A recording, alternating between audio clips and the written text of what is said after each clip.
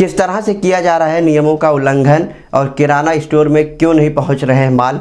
कहाँ रोक दिया जा रहा है? सुनिए हमारी इस खबर में। मैं इस्लामुद्दीन खान और आप देख रहे हैं प्रहार टाइम्स।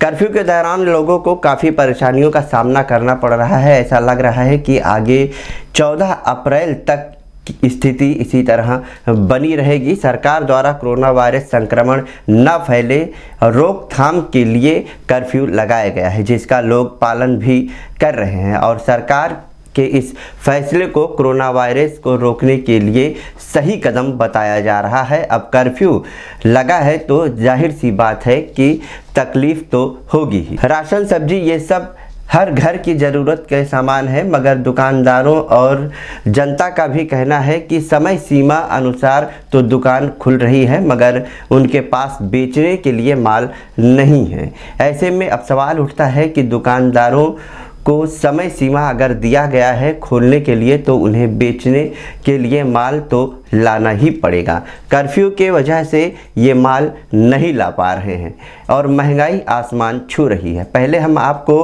कौसा के आर पटेल किराना स्टोर की तस्वीरें दिखाते हैं, जहाँ लोग सुबह पाँच बजे से ही लाइन में राशन लेने के लिए खड़े थे। मगर जब आठ बजे दुकान खुलने का समय आया तो पता चला कि दुकान आज बंद रहेगी। अब ऐसे में इनके पास दूसरी किराना स्टोर पर लाइन लगाने का समय ही नहीं बचा था। इन्हें कल भी राशन नहीं मिला था और आज भी दुकान बंद होने की वजह से राशन इन्हें नहीं मिला। सुनिए इन लोगों का क्या कहना है। छह बजे हम लोग यहाँ खड़े कोई आया नहीं है। हम लोग छह बजे से खड़े लोग दुनिया की पब्लिक पब्लिक को पागल कर रही है क्या? बोलना चाहिए ना पहले नोटिस लगाना चाहिए कि इधर नहीं है इधर ये कूपन बांटना। सबको कूपन बांट आधे आधे लोग को। सबके तो पागल है क्या? दुकानें दुकान जो है कल खुली थी आप लोग आके गए हाँ हम लोग कल आके गए। तो बोला कल आओ कल सामान मिलेगा ऐसा बोला उसने। कल आओ कल सामान मिलेगा उसने। हम लोग हम लोग तो छह बजे हम लोग के आगे औरत लोग आदमी लोग खड़े थे। कोई नहीं इधर आया एक भी। तो बोलना चाहिए हाँ। दुकान बनी है। वापिस हम लोग फेरी मारने आए इधर। बोलो। कल हम लोग यहाँ पे आके गए थे, हम लोग को बहुत टाइम तक खड़े रहने के बाद में ऐसा बोला गया कि कल आओ, कल सामान मिल जाएगा। लेकिन फिर आज आने के बाद में भी इतनी लाइन लगाने के बाद में भी आज दुकान उन्होंने नहीं खोले हैं। तो गवर्नमेंट ने कुछ ना कुछ इंतज़ाम करना चाहिए यहाँ पर ऐसा कि कम से कम सामान तो आने दो, बहुत सारी गाड़ियाँ जो सामान लेके आ रही है, उनको भी रोका जा रहा है। तो ये तो गलत हो जाएगा, राशन नहीं मिलेगा तो पब्लिक तो उससे मरने से ज़्यादा भूख से मर जाएगी। तो ये तो गलत बात है ना, उन्होंने ये इंतज़ाम रखना चाहिए गवर्नमेंट ने कि सामान आने दो, राशन पब्लिक को मिल जाने दो और टाइमिंग का कुछ सेटिंग करना चाहिए। कि वो हिसाब से मतलब कि बच्चे लोग जितने पब्लिक है वो लोग मतलब आके आराम से सामान लेके चले जाए हैं। राशन हर हर दुकानों पे कहीं भी राशन नहीं है। और एक दो दुकान जहाँ राशन मिल भी रहा है तो वो लोग बहुत ज़्यादा प्राइस ला के बेच रहे हैं। हम कल गए थे यहाँ पे एक दुकान में चालीस रुपये किलो की शक्कर हमें साठ रुपये किलो से मिल रही है। तो ऐसा अगर रहा तो गरीब तो मर ही जाएगा ऐसा। बीमारी से नहीं तो फिर भूख से ही मर जाएगा। कहाँ से होगा इंतज़ाम? तो कुछ ना कुछ इंतज़ाम करना चाहिए ये लोग ने कि ताकि राशन पब्लिक को आराम से मिल जाए। बस गवर्नमेंट से ये रिक्वेस्ट है। भाई, हम लोग फजर से खड़े हैं। फजर की नमाज़ पढ़ के आके लाइन लगाए लाइन लगा के काफ़ी टाइम से खड़े हैं और अभी दस मिनट पहले मालूम पड़ा ये दुकान खुलेगी नहीं। और कल जब हम लोग खड़े थे लाइन में ना तो इसने साढ़े दस बजे के बाद बंद कर दिया। किसी को लिया नहीं, बोला, मेरे पास बहुत सामान है, आप लोग जाओ, कल आओ। सुबह में आओ, आपको लाइन भी नहीं लगानी पड़ेगी और आपको सामान मिलेगा। और अभी दस मिनट पहले मालूम पड़ा, भाई, दुकान खुलेगी नहीं। कल डीजी वाले ने बंद करके रखा था। वो खोला नहीं था। अभी उसने खोला है, कम से कम 200 250 पब्लिक वहाँ लाइन में खड़ी है। माई मॉल है अमृत नगर में, दरगाह रोड के आगे। वहाँ एक सामान नहीं है उसके अंदर। उसके पास कुछ प्रोडक्ट ही नहीं है और छोटी छोटी दुकान वाले डबल डबल रेट करके बेच रहे हैं माल। तो कैसा खरीदेगी खरीदेगी पब्लिक अब बोलते गैदरिंग नहीं करो, डेढ़ सौ डेढ़ सौ, दो सौ दो सौ पब्लिक लाइन में खड़ी है गैदरिंग नहीं हो रही तो ये क्या हो रहा है? ये भी चीज़ है ना। गैदरिंग नहीं करने बोल रहे हैं, दो सौ दो सौ पब्लिकों को लाइन में खड़ा कर रहे हैं। अभी आप डीजी मॉल पर जाके वहाँ देखिए लाइन कितनी पब्लिक खड़ी है। और सामान नहीं मिल रहा सबसे बड़ी बात है कि सामान नहीं मिल रहा है। लाइन लगाने के बाद पैसे ज़्यादा ले रहे हैं रेट ज़्यादा ले रहे। हैं और दो दो घंटा खोल रहे हैं। कौन आया था बताने के लिए? वो यहाँ को एक ऊपर बिल्डिंग में रहते हैं। उन्होंने देखा कि इतनी सारी लाइन लगी थी तो उन्होंने शायद उनके पास नंबर है उस बंदे का।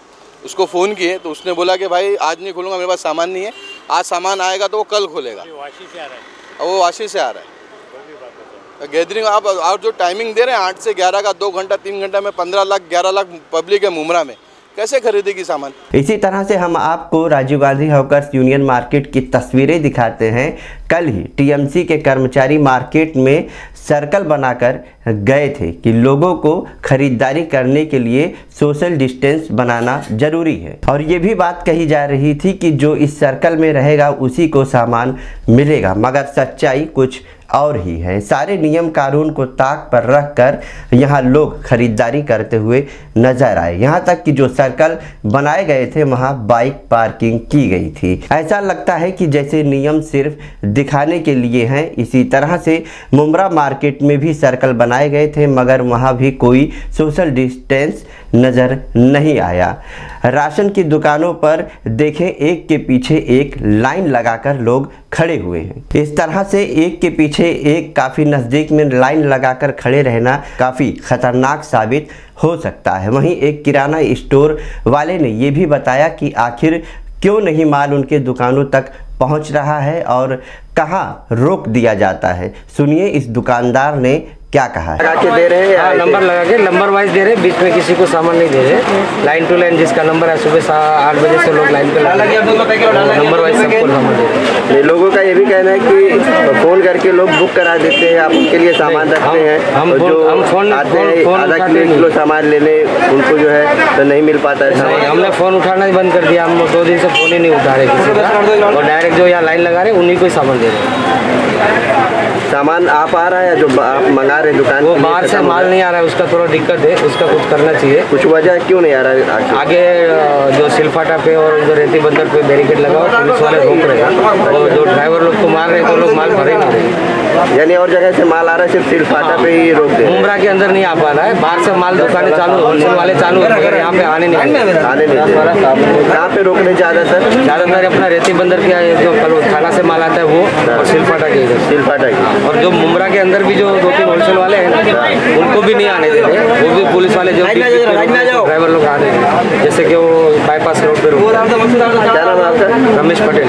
वही सब्ज़ी के भाव को लेकर महिलाओं और सब्ज़ी बेचने वालों के बीच कहा सुनी भाव को लेकर खूब हो रही है। महिलाएँ कह रही हैं कि सब्जियों के दाम बढ़ाकर बेचे जा रहे हैं, मगर दुकानदार का कहना है कि उन्हें महँगा मिल रहा है, इसलिए वो महँगा बेच रहे हैं। जबकि आज मार्केट में आलू की काफ़ी कमी देखी गई। जो कि कोतमीर पाँच रुपये में मिलती थी, वो कोतमीर आज बीस रुपये में मिल रही थी और भिंडी के भाव अस्सी रुपये तक हैं। अगर प्याज की बात हम करें तो तीस रुपये से पचास रुपये किलो प्याज के भाव आज थे। इसी तरह से बढ़े हुए भावों को लेकर महिलाएँ और दुकानदारों ने क्या कहा है? भाई सीधा बात अरे लूट हो लोग दुनिया का तो। मानो लो नहीं लेना है ऐसे बोल रहे लेना लो नहीं लेना चाहिए रोज कमाने वाले कहाँ से लाएँगे भाई? तीस रुपया पाव मिर्ची है कहाँ से खाएँगे? खाली मिर्ची लेंगे क्या? और सामान भी तो है। टमाटर सब्ज़ी भाजी सब महँगी है। हम लोग कहाँ से खाएँगे कहाँ से रहेंगे कैसे रहेंगे? सोचो कोई कमाई का ज़रिया नहीं है। हम लोग के लिए कोई प्रोटेक्शन नहीं है। हम लोग कैसे रहेंगे बताओ। कोई साइड बिज़नेस नहीं है हम लोग का। जो जमा पूंजी है रोज कमाने वाले हम लोग कितना महँगा खा सकते हैं बताओ। भाव भिंडी दे रहे हैं? जितना हमारा तीस रुपया भाव भिंडी दे रहे हैं हम लोग तो अपनी कसम खाएँगे। तीस रुपया भाव जो इतना 40 महँगा। किलो चालीस रूपए किलो। किलो। अस्सी रूपए किलो दे रहे हैं। हाँ, 20 कहाँ से रुपए हम का पब्लिक एक खाएँगे। बोलो ये सरकार लोग क्या कर चालीस रुपया पाव भिंडी दे रहे हैं। चालीस रुपया पाव भिंडी। हाथ देते। एक मिनट बात करिए। हाँ? बाज़ार में वहाँ माल नहीं आ रहा महँगा करके मतलब हम लोग यहाँ मतलब बेच रहे कल्याण में हैं कल्याण में मतलब सब डबल टिबल बाज़ार है माल। इसके पहले दो दिन तीन दिन पहले सस्ता था। आज महँगा था करके मतलब वो रेट बिक रहा है। क्वालिटी के ऊपर है इसमें हल्का भी बदला भी माल आता है। नासिक वाले मतलब यहाँ फुलावर ऊपर नाके भी इधर दस दस बीस बीस रुपये बेच रहे हैं। साठ पी का। पहले भी वही भाव अभी भी वही भाव है। वही भाव पहले भी माल में चार कलर का आता है ना सेट चार कलर का माल आता है छोटी भिंडी बड़ी भिंडी क्या माल के ऊपर लेने की ऊपर है आपको? ऐसा। अब बाज़ार में देखो दस का पाव भी मिलेगा और मेरे पास बीस का पाव भी है पंद्रह का पाव भी मिलेगा माल के ऊपर है।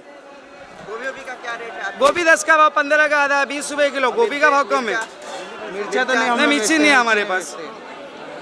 मतलब आप लोग भाव नहीं नहीं सर आप चाहिए तो आप चेक कर लो क्या नहीं हमारा। अब एक की, एक किरे सबका नाम खराब होता है। अभी कांदे वाले भाव बढ़ाए तो बाजी वाले का भी नाम खराब हुआ है।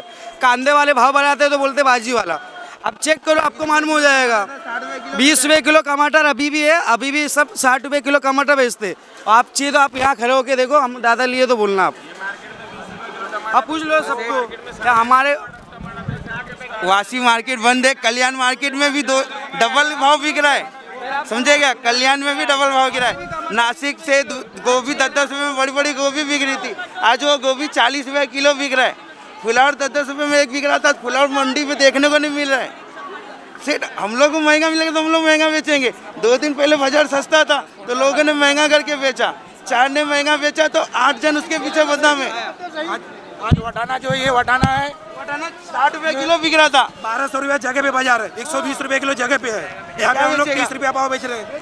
लाल चालीस रुपये सौ- बेच रहे माल उसमें हल्का निकल रहा है बाज़ार के हिसाब से।